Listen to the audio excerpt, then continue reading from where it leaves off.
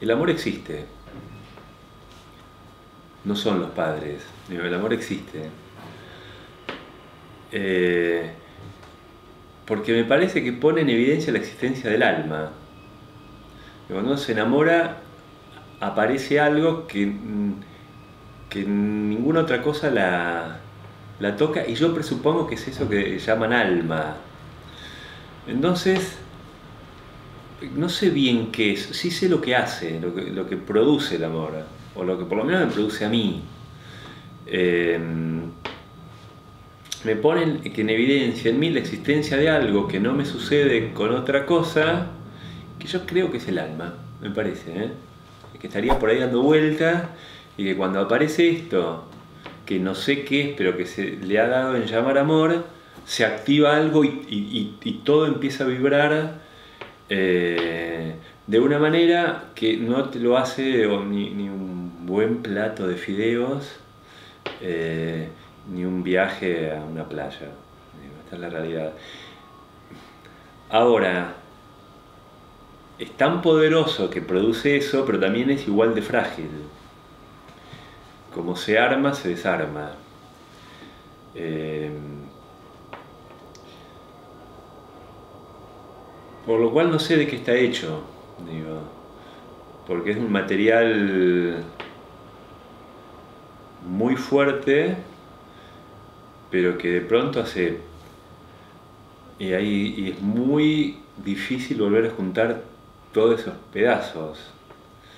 No es como Terminator 2 que se juntaba solo y se volvía a reconstruir. No se junta solo. Em, pero hay algo también obstinado de, la especie humana que, que no renuncia nunca a él. Lo que es lo que habla muy bien de nosotros. Porque como no se sigue insistiendo en algo que a veces le provoca tanto daño y, angustia y soledad, sigue insistiendo en algo que es intangible, que no sabemos qué es, de qué está hecho, pero que mientras se sucede, eh, todo, se todo se modifica, todo, absolutamente. El verde ya no es del mismo verde, el agua sabe de otra manera.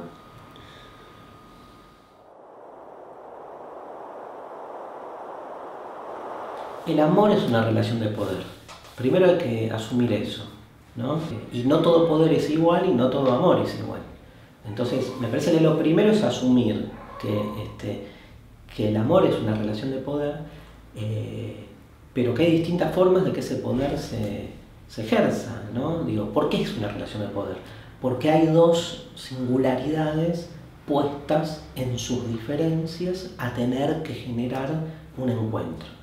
Entonces, si el encuentro termina siendo la disolución de la diferencia del otro en pos de un común, la, famosa y perversa idea del amor como fusión, entonces habrá amor, pero deja de haber singularidad. O sea, este, y entonces no garpa. Entonces, para que garpe, para que hayan este, dos singularidades que con sus diferencias buscan conectar, hay que asumir que hay conflicto y que el conflicto tiene que ver con con cómo esas diferencias en todo caso se relacionan entre sí. Este, entonces hay como este mito o esta ilusión de la armonía o del acuerdo, eh, que no es lo mismo. La armonía es, un mito peor, ¿no? porque es la idea de que en definitiva este, eh, hay una especie de igualdad donde ambos logramos llegar una situación de estabilidad mutua y en general suele ser uno el que termina armonizando al otro. ¿no? Este, eh, siempre va a haber entre los dos alguien que de algún modo logre imponer algo de su, de su interés.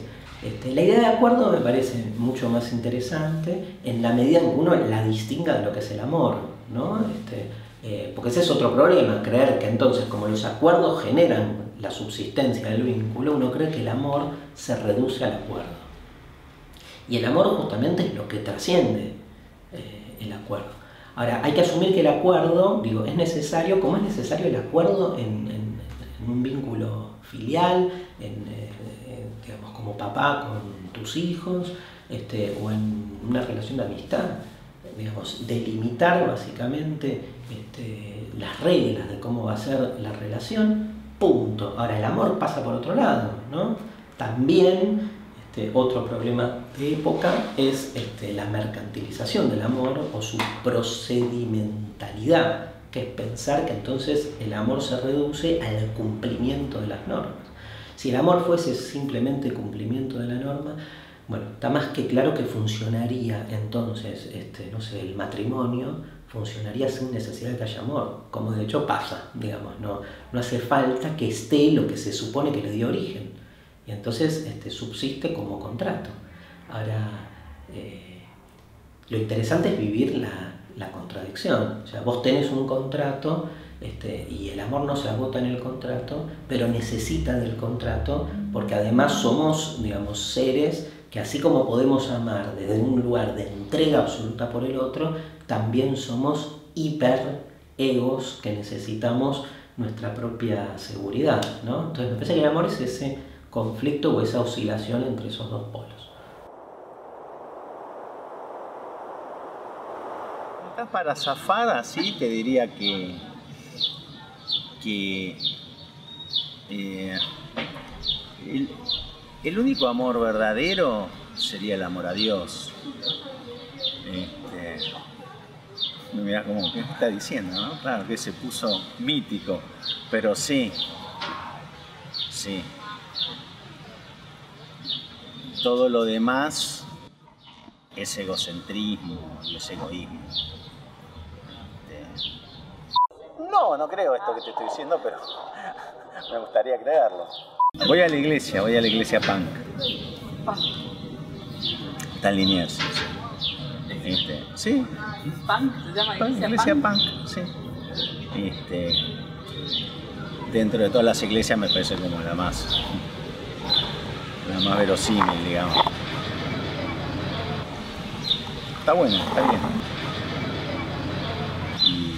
Más que ir a la ceremonia, eh, voy a unos cursos, voy con, mi pareja, que cree mucho más que yo. no, pero vamos unos cursos, entonces se lee, bueno, se lee la Biblia, se interpreta, se estudia. El pastor sabe mucho.